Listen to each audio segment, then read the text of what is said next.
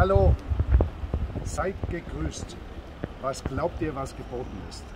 7.6.2021. Wir eröffnen heute innen und außen. Wir haben schon zwei Tage im Außenbereich unter strömendem Regen hinter uns. Die Leute sitzen unter den Schirmen, das spielt gar keine Rolle. Wir freuen uns auf euch. Wir sind alle volle Euphorie, voller Euphorie. Ich denke, es wird uns alle gut tun, wenn wir jetzt wieder beieinander sind. Wir können heute nicht zu ausführlich werden. Im Laufe der Woche werden wir noch mal hinterherlegen. Jetzt starten wir, wir sind bereit. Alle Hygienemaßnahmen, auch wenn wir wieder super Zahlen haben, werden eingehalten. Ich spreche jetzt ohne Maske.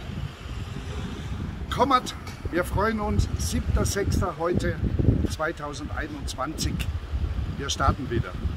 Bis dann.